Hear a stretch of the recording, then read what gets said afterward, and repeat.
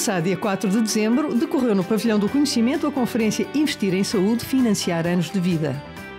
Esta é uma iniciativa promovida pelo Jornal de Negócios em parceria com a Janssen, companhia farmacêutica do grupo Johnson Johnson, e com o apoio institucional da APA, que contou com a participação de ilustres oradores para falar sobre resultados em saúde numa ótica de sustentabilidade, implementação e impacto. Martin Ingvar partilhou a sua visão sobre o financiamento dos sistemas de saúde no futuro e Andrew Fried fez uma apresentação sobre como as novas tecnologias vão revolucionar a saúde.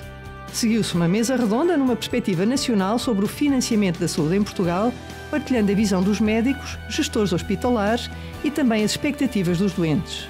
A terminar, Maria do Céu Machado comentou os temas discutidos durante a manhã. A Conferência Investir em Saúde Financiar Anos de Vida é uma iniciativa do Jornal de Negócios em parceria com a Janssen, companhia farmacêutica do grupo Johnson Johnson, que conta com o apoio institucional da APA.